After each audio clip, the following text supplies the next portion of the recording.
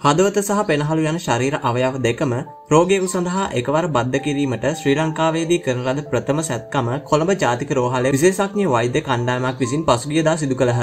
මොලය මියයාම හේතුවෙන් මරණයට පත් වූ කුරුණෑගල මලියදේව බාලිකා විදුහලේ උසස් පෙළ අධ්‍යාපනය ලැබූ දහ නම හැවිරිදි විහඟනා ආර්යසිංහ සිසුවියගෙන් ලබාගත් හදවත සහ පෙනහළු මෙසේ වෙනත් රෝගියෙකුට බද්ධ කරනු අතර මේ අවයව දෙකම බද්ධ කරනු ලැබුවේ හෘදය සහ පෙනහළු අකර්මණ්‍ය වීමෙන් අසාධ්‍ය තත්ත්වයකට පසු වූ නිර්වින්දන විශේෂඥ වෛද්‍යවරියකට වීම විශේෂත්වයකි. මීට පෙර සිදු කර තිබුණේ එම අවයව වෙන වෙනම බද්ධ කිරීම වුවද එකවර එවැනි අවයව බද්ධ කිරීමේ සැත්කමක් මෙරටේදී සිදු කළ ප්‍රථම අවස්ථාව මේ වීමද විශේෂ විශේෂත්වයකි. මීට අමතරව ඇයගෙන් ලබාගත් වකුගඩු දෙකද අසාධ්‍ය රෝගීන් දෙදෙනකොට සාර්ථකව බද්ධ කර තිබූ අතර ඉන් එක වකුගඩුවක් කුරුණෑගල ශික්ෂණ රෝහලේ වකුගඩු ඒකකයේ ප්‍රතිකාර ලබමින් සිටි රෝගියෙකුට සාර්ථකව බද්ධ කළ බවද කුරුණෑගල ශික්ෂණ රෝහලේ අධ්‍යක්ෂ වෛද්‍ය චන්දන කැන්දගමුව මහතා ප්‍රකාශ කළේය. එමෙන්ම ඇගෙන් ලබාගත් අක්මාව සහ අක්ෂිපර්ලද තවත් පුද්ගලයින් තෙදෙනකුට නිරෝගී ජීවිතයක් ලබා දී ඇත.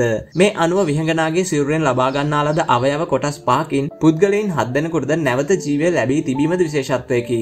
විහඟනා සිසුවිය අඹන්පොල නගරයේම පදිංචි දරුවන් තිදෙනෙකුගෙන් යුත් පවුලක බාලම දරුවා වූවාය. ඇයට වැඩිමහල් එක් සොහයුරියක් සහ එක් සොහයුරෙක් සිටින අතර සොහයුරියද මලියදේව බාලිකාවෙන් උසස් පෙළ සමත්ව වයඹ විශ්වවිද්‍යාලයේ ඉගෙනුම ලබමින් සිටී. විහඟනා සාමාන්‍ය පෙළ විභාගය ඉහළින්ම සමත්ව උසස් පෙළ වාණිජ්‍ය විෂය ධාරාව ඉංග්‍රීසි මාධ්‍යයෙන් හැදෑරීම සඳහා කුරුණෑගල මලියදේව බාලිකා විදුහලට ඇතුළත්ව ඇත.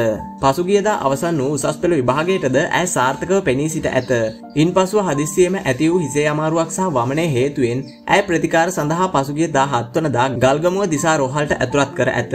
එහිදී ඇගේ රෝගී තත්ත්වය බරපතල වීම හේතුවෙන් එදිනම රාත්‍රියේ වැඩිදුර ප්‍රතිකාර සඳහා කුරුණෑගල ශික්ෂණ රෝහලට ඇතුළත් කර තිබේ. කුරුණෑගල ශික්ෂණ රෝහලට ඇතුළත් කරන විටද අසාධ්‍ය තත්ත්වයෙන් පසු වූ විහඟනා රෝහලේ දැඩිසත්කාර ඒකකයට ඇතුළත් කර ප්‍රතිකාර ලබා දුන්නද එහිදී සිහිය නොලබාම ඇය මරණයට පත්ව ඇත.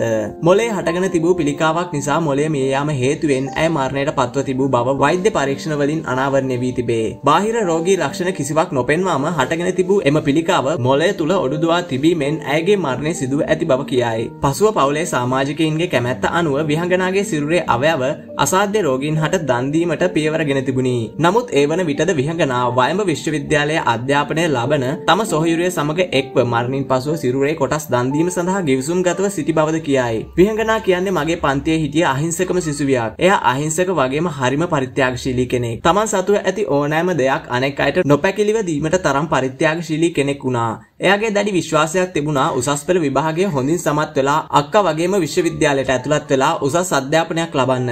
නමුත් ඒ දරුවා වගේම දෙමව්පියන්ගේ හීන සියල්ලමද බොඳ වෙලා ගිහින් ඉවරයි. ඒත් මේ දරුවා දන් දුන්න ශාරීරික අවයව වලින් මේ වන විට රෝගී පුද්ගලයන් පස් දෙනෙකුම නිරෝගීව ජීවත් වීමට අවස්ථාව ලබා දීලා තියෙනවා. ඒ මහඟු පිනම ඇති මේ දරුවාට නැවත නිරෝගීමත් ජීවිතයක් ලබන්න. විහංගනාගේ උසස් පෙළ පන්තියේ භාරව කටයුතු කළ ලක්මිනී සමරකෝන් මහත්මිය මෙසේ ප්‍රකාශ කළාය.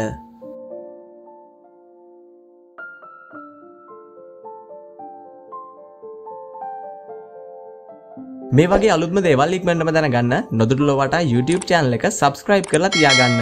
ඒ වගේම අපි වීඩියෝ එකක් දාපු ගාම දැනගන්න එහා පැත්තේ තියෙන bell icon එකත් click කරන්න අමතක කරන්න එපා.